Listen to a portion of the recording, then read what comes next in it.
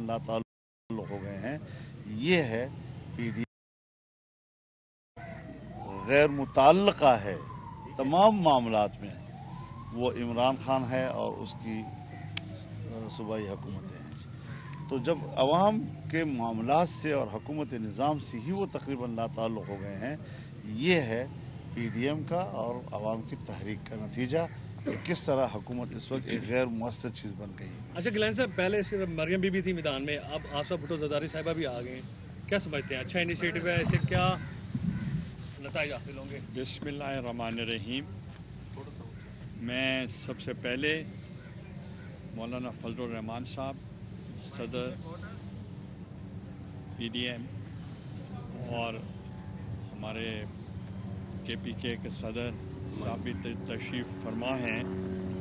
उनको उनको वेलकम करता हूँ कि आज मौलाना साहब ने तशरीफ़ लाकर यहाँ हमारी बहुत इज़्ज़त अफजाई की है और उन्होंने हमें मुबारकबाद भी पेश की है। मेरे बच्चों को भी मुबारकबाद दी है। कासिम की रिहाई के लिए भी मुबारकबाद दी है। तो हम भी इनके मशहूर हैं। और सिर्फ़ मैं उन, उनसे गुजारिश करूँगा कि हम पीडीएम के बहुत मशहूर हैं कि उन्होंने जो जलसे पहले इब्तदाई तौर पर छः जलसे मंजूर किए थे तो पाकिस्तान पीपल्स पार्टी के चेयरमैन बिलावल भुट्टो साहब ने रिक्वेस्ट की थी कि दो जलसे जो होंगे, वो हमसे रिलेटेड हैं पाकिस्तान पीपल्स पार्टी से। उनमें एक सान कारसाज कराची में जो 18 अक्टूबर का था तो वो हमें रिक्वेस्ट की हमने पीडीएम से वो जलसा करने का हमें आप ये होस्ट बनने का मौका दें। तो मैं मशहूर हूँ कि उन्होंने हमें हमारी रिक्वेस्ट मानी और हमने जो वो था सान कारसाज, जिसमें 200 लोग शहीद हुए और वो गुमनाम सिपाही थे जमहूरीत के लिए और स्ट्रगल के लिए। और उनकी जो तकफीन हुई, वो गड़ी खुदा बख्श में हुई। जहाँ शहीद जुल्फ़ार अली भुट्टो साहब तकफीन जहाँ हुई थी। दूसरा उन्होंने रिक्वेस्ट की कि एक मौका ऐसा है, योम तासीस पाकिस्तान पीपल्स पार्टी की 30 नवंबर को, और उस पर भी उन्होंने गुजारिश की कि ये मौका भी हमें दिया जाए कि हम इसकी इसकी मेज़बानी करें। तो अगेन मैं पीडीएम का क़्यादत का सबका मशहूर हूँ कि उन्होंने हमें ये मौका दिया। और उसके लिए अब अहलियान मुल्तान मीडिया के लोग, दोस्त सब जानते हैं क्या क्या मुश्किल आई कि बिजली बंद, पानी बंद और उधर दुकानें बंद, खाना बंद केटरिंग वाले बंद और ट्रांसपोर्ट बंद और जितने कारकुन थे पीडीएम के, उनको जेलों में डाल दिया गया और उनके साथ सख्तियाँ की गई कि एफिडेविट साइन कराया गया। ये आपके इल्म में लाना चाह रहा हूँ, जिस पे लिखा कि अगर कोई जलसे पे जाएगा, दस लाख तावान देगा हुकूमत पंजाब को। ये पहली दफ़ा हमने सुना था। और इस हद तक जिन्होंने ट्रांसपोर्ट वालों ने एडवांसेस भी दिए वो भी वापस आकर छोड़ गया कि जी, हम आपको ट्रांसपोर्ट नहीं दे सकते। इन हालात में मैं सलाम पेश करता हूँ पीडीएम के कारकुनों को, जिन्होंने इन नामसाइद हालात में ये जलसा किया और कामयाब किया। और आपको मैं साथ साथ बताता चलूँ, मौलाना साहब को पहले भी पता है कि जलसे से कबल कोई तकरीबन डेढ़ हज़ार कारकुन वो जलसा गाह में पहुँच चुके थे किला कोना कासिम बाग में। अब वहाँ न बिजली, न पानी, न इंतज़ाम न कुछ चीज़ थी और बिजली के बगैर हमने जलसा आपने देखा, कल किया और इन तमाम पकड़ धकड़ के बावजूद जब सब लोग यहाँ आए तो अब कुछ वज़रा के बयान आना शुरू हो गए हैं कि ये गलत फ़ैसला हुआ था। तो भाई, आप गलत फ़ैसला अगर हुआ था किसी ने भी किया था, सूबाई गवर्नमेंट ने किया था फेडरल गवर्नमेंट ने किया था तो ये तो सिलसिला एक हफ़्ते से चल रहा है। एक हफ़्ते से पकड़ धकड़ हो रही है। अभी भी हमारे लोग जेलों में हैं। चौदह चौदह साल के बच्चों को भी जेल में डाला गया है। तो मतलब ये तो बहुत ही इतना तो कभी डिक्टेटरशिप के टाइम पे भी इतना नहीं हुआ जो अब कर रहे हैं ये। तो अब वो कहते हैं कि ये जलसी है। तो आप मीडिया के दोस्त बैठे हैं। आप बताएँ जो दो साल कबल जरदारी साहब और बिलावल साहब स्टेडियम में आए थे। आप खुद बता सकते हैं कि वो जलसा कामयाब था या नहीं था। तो वो इतना बड़ा जलसा था कि मैं समझता हूँ कि बहुत बहुत बड़ा जलसा था। और अब ये कहना कि जलसी की है तो बहरहाल वो शर्मिंदगी तो उनको मिटानी है। और अब अगर डिफ़र करते तो, तो उस पर डिफ़र करते हैं जब जलसे से कबल अब जलसे के बाद अब डिफ़र करने की क्या ज़रूरत है? मगर मैं समझता हूँ मैं कारकुनों को सलाम पेश करता हूँ जो इन इन हालात में क्राइसिस में वो निकले आए हैं और पूरे घरों की छतों पे हर जगह पे वो पहुँचे हैं और उनका जज्बा जो था जो उनका उन, उन उनके जो मोटिवेशन थी इतना चार्ज क्राउड बहुत कम मैंने अच्छा, देखा है। पहले तो आपको जलसा कामयाब होने पे मुबारकबाद। और दूसरी बात कल जलसे के दौरान एक अफसोसनाक वाक़ा पेश हुआ जहाँ पर कारकुनों ने आतिशबाजी की और गत्ते का जो गोदाम था वहाँ पर आग लग गई। गोदाम के मालिक ने मुतालबा किया है कि पीडीएम के जो तमाम जमातें हैं वो उसका मेरा अजाला करे। 20 से 25 लाख वो बता रहा है कि मेरा नुकसान हुआ है उसका उजाला करे। और साथ में वो कह रहा है कि मैंने जो थाना है मुल्तान का पुराना कोतवाली वहाँ पर तमाम पीडीआई पीडीएम के जितने भी रहनमा हैं उनके खिलाफ कार्रवाई का भी मुतालबा कर रहा है। अच्छा मलन साहब एक चीज़ क्या कहेंगे इस हवाले से? देखिए हमें तो अ, अ, इत, इतनी मालूम नहीं है लेकिन इतना पता है कि वहाँ आग लगी। तो ज़ाहिर है कि हम हमें इंतहाई अफसोस है इसके ऊपर। और ज़ाहिर है ये लोग यहाँ पर मेहनत करते हैं मेहनत मजदूरी करके कमाते हैं। उनका यकीनन नुकसान हुआ है बहुत नुकसान हुआ है। उस पर हमारी पूरी हमदर्दियाँ उनके साथ हैं।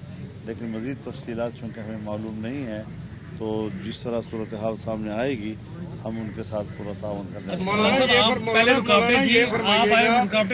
अच्छा, एक हफ़्ते से मुल्तान का जो माहौल था उससे लग रहा था कि जमहूरी हुकूमत के दावेदारों ने आमरीत को भी मात दे दी है। तो क्या आप समझते हैं कि आपने कल के जलसे से अपने मकासद हासिल कर लिए हैं और इस हुकूमत को आप चलता करेंगे कब तक? हमने माशाल्लाह अल्लाह की मदद से कारकुनों के खलूस से आवाम की तइद के साथ अ, इनके अज़ायम को नाकाम बनाया है। और हमने उनको मात दे दी है उनको शिकस्त दी है और आप देख रहे थे कि किला कोहना कासिम बाग के साय में जो मैदान है लोहारी गेट घंटाघर का वो तिल धरने की उसमें जगह नहीं थी। और ज़ाहिर है कि अगर हम वहाँ से कंटेनर हटाते और हम वहाँ स्टेडियम में पहुँच जाते तो एक तो वो जो हमारा ट्रक जिस पे लाउड स्पीकर लगा हुआ था, वो अंदर न जा सकता। और वहाँ पहले से कोई इलेक्ट्रॉनिक कोई सिस्टम वहाँ मौजूद नहीं था कि हम उसको इस्तेमाल करके लोगों तक अपनी आवाज़ पहुँचा सकते। हमने वही हमत अमली फ़ौर बनाई कि हमने अब यहीं पर बैठकर लोगों को सामने, हमारे सामने मौजूद हैं और हमने इन्हीं लोगों से खिताब करना है। वहाँ भी होंगे तो यहाँ भी होंगे। और आपने देखा कि जो ही सियासी कारकुन मैदान में पहुँच गए लोगों को हौसला हुआ और मुल्तान के आवाम भी घरों से निकल आए और जलसे में शरीक हो गए। से आपकी क्या तवक्कुआत हैं? क्या मकसद मजीद हासिल कर लेंगे? देखिए एक जद्दोजहद का तसलसल है और हमारा शेड्यूल है। हम अपने शेड्यूल के मुताबिक आगे बढ़ रहे हैं और बड़ी कामयाबी के साथ आगे बढ़ रहे हैं। रुकावटें भी आ रही हैं और इंतहाई ालिमाना किस्म की रुकावटें सामने आती हैं। लेकिन सब चीज़ की परवाह किए बगैर हम कौम की जंग लड़ रहे हैं, आम आदमी की जंग लड़ रहे हैं। हम आम आम आदमी के और हर शोब ज़िंदगी से वाबस्ता लोगों की इस वक्त तर्जुमान हैं, उनकी हम ज़बान हैं और उनको साथ लेकर हमने आगे बढ़ना है। तो जदोजहद होती है, नतीजा अल्लाह के हाथ में होता है और जदोजहद की ज़िम्मेदारी हमारे ऊपर है। इन उसमें हमने आगे बढ़ना है और कामयाबी अल्लाह देगा इन ये चेयरमैन बिलावल भुट्टो, जरदारी साहब की तबीयत ठीक नहीं थी और आसिफ अली जरदारी साहब, सदर साहब जो हैं, वो भी अलील हैं। तो उन, उन्होंने इसके बावजूद भी क्रिटिसिज्म होता रहा कि जो लीडरशिप है, अपने बच्चों को तो नहीं निकालते, मगर दूसरों के बच्चे जो हैं, उनको ये ढाल बना लेते हैं। तो आपने देखा कि मेरे बच्चे भी बीच में थे और आसफा भुट्टो अ, जरदारी साहबा पहली मरतबा वो बाहर आई और वो इस क्राइसिस में वो आपके आपके जो एजेंडा था उसके मुताबिक शामिल हुई और आपने देखा होगा कि आवाम ने उसको बहुत अप्रिशिएट किया। मौलाना साहब आशिक मान साहब कहती हैं कि आप किला कोना कासिम बाग भरने के लिए आए थे लेकिन घंटा घर भी नहीं भर सके। अब मैं उसका क्या जवाब दूँ? ये तो गिलानी साहब इसका ताल्लुक कल कल हाई कोर्ट ने इसका इसका ताल्लुक तो हमारी शराफत के साथ है और वो शराफत इजाज़त नहीं दे रही।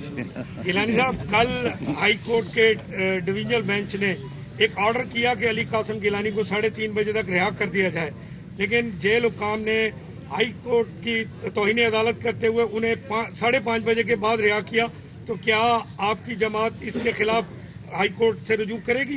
देखें हाई कोर्ट ने जो फैसला दिया हम अप्रिशिएट करते हैं कि बहुत अच्छा जुडिशस फैसला आया है कि चूँकि उसमें इन, इनका जो मौक़ था उनको उनको कमज़ोरी हुई है कि जो पकड़ धक्कड़ इलीगल कर रहे थे तो कल भी बहुत सारे लोग जो रिहाई के लिए गए थे उनको भी रिलीफ मिला है।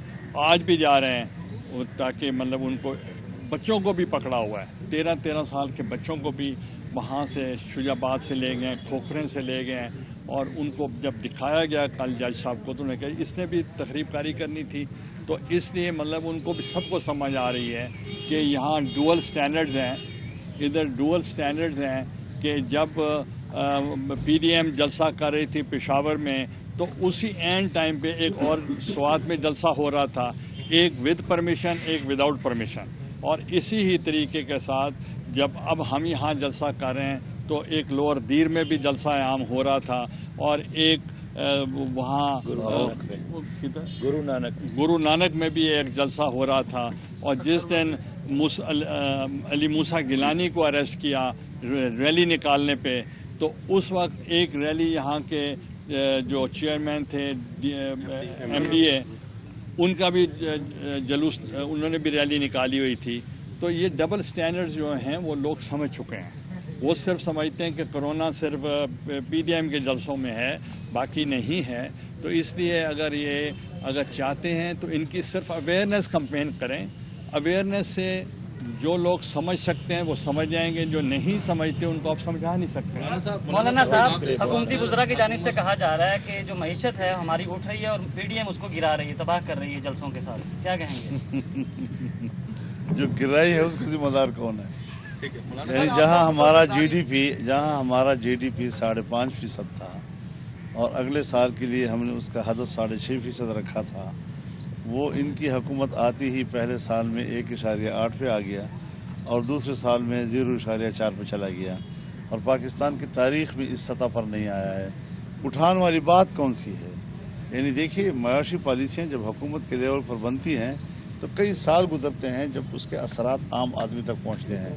यहाँ तो इधर से हुकूमत बनी, इधर से आवाम के ऊपर उनकी पॉलिसियों के असरात मुरतब शुरू होने लग गए। तो इस महँगाई को आप क्या करेंगे? गरीब आदमी की जो क़वत ख़रीद है, वो जवाब दे गई है, उसका क्या करेंगे? दवाइयाँ कहाँ कहाँ पहुँच गई? कितने सौ गुना ज़्यादा कीमतें उसकी बढ़ गई हैं। आपका अफरात ज़र क्या कहाँ कहाँ तक पहुँच गया है? आपकी बरामदात की पोजीशन क्या है? अब ये सूरत हाल ऐसी है कि जैसे कोई आदमी कहे कि जी, रोड के ऊपर एक आदमी बैठा है और भूख के हाथों जो है वो बिलक रहा है और कोई दूसरा आदमी गुजर कर उसे कहता है कि पीछे से एक आदमी आ रहा है वो कुछ रोटी आपके लिए ला रहा है। ये है इशारा उसकी माशी बेहतरी का जी। इसराइल के दौरान आपके साथ कोई मुजाकरात हुए हैं या कोई बीच में आया है? या आगे जलसा जो आखिरी आपका होने जा रहा है उसमें कोई अगर आपके साथ मुजाकराती तौर पे आते हैं मामला हुकूमत और आपके दरमियान तो आप समझते हैं कि अपनी पोजीशन है ऐसी? देखिए इस वक्त तक तो हमारा स्टांस ये है कि हम हुकूमत के साथ किसी किस्म के कोई मुजाकरात करने को तैयार नहीं है। हमने तमाम इम्कान जो है वो मुस्तरद कर दिए हैं। लेकिन ताहम आइंदा मुस्तकबिल जो है उसका दारोमदार मैंने पहले भी अर्ज़ किया कि पी डी एम जिस तरह हालात बनाएगी और फैसले करेगी उसके मुताबिक हम आगे सर इसराइल को तस्लीम करने की बातें हो रही हैं सर। इसराइल को तस्लीम करने की बातें हो रही हैं सर। देखिए यहाँ पर एक गैर माकूल चीज़ जो पूरी दुनिया में फैली हुई है इसराइल को तस्लीम करना उम्मत मुस्लिमा का फ़र्ज़ है। उसके हुक्मरान का भी उनकी जमातों का भी उनके अफराद का भी। कि वो फ़िलिस्तीन को तस्लीम कराने की बात करें। हम फ़िलिस्तीनियों को भूल बैठे हैं हम फ़िलिस्तीन को तस्लीम कराने की बातें कर रहे हैं। ये क्या तरजीहत हैं हमारी? क्यों हमारी तरजीहत तब्दील हो गई हैं? और उम्मत मुस्लिम इतनी मरूब क्यों है इतने दबाव में क्यों है कि एक तरफ़ हम मोदी को कश्मीर दे रहे हैं और दूसरी तरफ़ हम यहूदियों को इसराइल दे रहे हैं? फिलिस्तीन हज़रत उमर रज़ी अल्लाह ताला की आज़ादी की बात करें बैतुल मक़दस उसका दारुल खिलाफा हो इसकी बात करें किबल अव्वल ये जनाब रसूलुल्लाह सल्लल्लाहु अलैहि वसल्लम का तोहफ़ा है उम्मत को। और किबल अव्वल हज़रत उमर रज़ी अल्लाह अन्ह कि वो अमानत है जो उम्मत के हाथ में है। और किबल अव्वल सलाहुद्दीन अयूबी की अमानत है जो उसने उसकी चाबियाँ लेकर फतह करके उम्मत के हवाले किया। आज हम अपने पूरे तारीख को की नफी कर रहे हैं। आज हम उसको भूल बैठे हैं। आज अमेरिका ने एक अकवा मुतहदा की करारदादों के मुताबिक मुतनाज़ इलाका। वहाँ पर सफारत खाने का ऐलान कर रहा है। ये तो पूरी दुनिया के कानून में नहीं है, ये तो जबर है, ज़बरदस्ती है। लिहाजा सबसे पहले बात की जाएगी तो फ़लस्तीन की होगी, उसकी आज़ादी की होगी, उसकी खुद मुख्तारी की होगी, उसकी दारकूमत की होगी। उसके बाद फिर देखें दुनिया अब किस नतीजे पर पहुँचती है, इसराइल का क्या बनता है, क्या नहीं बनता। लेकिन ये बहुत गलत तरजीह है कि हम इसराइल तस्लीम इसराइल तस्लीम की बातें कर रहे हैं और फ़लस्तीन का लफ्ज़ नहीं इस्तेमाल कर रहे, जबकि जंग ही हमारी है कि हमारे इलाके पर काबिज है। वसल्लम ने फरमाया, अखरजुल यहूद बिन जजीरत अरब जजीर अरब से यहूदियों को निकाल बाहर कर दो। और फिर फतेह खैबर के बाद निकाल बाहर किया और यहाँ तक कि दर बदर हो गए, फ़लस्तीन अम्बिया की सरजमीन है, फ़लस्तीन अरबों की सरजमीन है और जब से पैदा हुई है, ये मुसलमानों की सरजमीन है। उस पर यहूदियों ने कब्ज़ा किया है और 1940 की पाकिस्तान की करारदाद 1940 की करारदाद पाकिस्तान का। ये हिस्सा है कि यहूदियों की जो नई बस्तियाँ बन रही हैं, ये नाजायज़ है और पाकिस्तान इस फ़िलिस्तीनियों के शाना बशाना खड़ा रहेगा। एक तरफ़ तो ये ये सूरत हाल है, कायद अजम ने संचालित की करारदाद में इसको डाला है। फिर उसके बाद जब सन अड़तालीस में इसराइल बनता है तो उसका वज़ीर अजम अपनी पहली खारजा पॉलिसी में सबसे पहली बात यह करता है कि हमारी खारजा पॉलिसी की तरजीह अव्वल ये होगी कि दुनिया की सरजमीन पर और उसकी जोग्राफिए पर नया उभरने वाला इस्लामी मुल्क, उसका खात्मा हमारी खारजा पॉलिसी होगी। कहाँ उनके वो अजायम पाकिस्तान के बारे में, कहाँ पाकिस्तान का मौक़ वहाँ फ़लस्तीनियों के हवाले से आज हम उसकी भी नफ़ी कर रहे हैं? तो ये पाकिस्तान के असास की नफ़ी है। हमने कश्मीरियों की नफ़ी कर दी, हमने फ़लस्तीनियों की नफ़ी कर दी। क्या पाकिस्तान मुसलमानों के हकूक़ के तहफ़ के लिए बना था या उनके, उनको दफन करने के लिए बना था? लिहाजा पाकिस्तान के असास को हम चढ़ रहे हैं और बानी पाकिस्तान के बुनियादी असासी नज़रिए को हम नफ़ी कर रहे हैं। तो ये बड़ा हसास मामला है। इसके दूसरे पहलू को भी देखा जाए, तरजीह ये है कि फ़लस्तीन को तस्लीम करना है या नहीं। मौलाना ये फरमाया आपने कश्मीर की बात की तो इस वक्त हम खारजा महाज पर हुकूमत कहाँ खड़ी है कश्मीर के हवाले से? खारजा महाज पर हुकूमत है ही नहीं। बस ख़त्म हो गई बात। आप आपने सवाल किया है कि आसफा भुट्टो जरदारी साहबा लाहौर जलसा में आएँगी या नहीं आएँगी? क्योंकि वो यहाँ तशरीफ़ नहीं थी अंडर क्राइसिस उनके उनके भाई साहब की तबीयत ठीक नहीं थी और इन वो ठीक हो जाएँगे। और वहाँ जो पीडीएम के फैसले के मुताबिक जो जलसा होगा वहाँ चेयरमैन बिलावल भुट्टो साहब शरीक बहुत शुक्रिया बड़ी नवाजिश।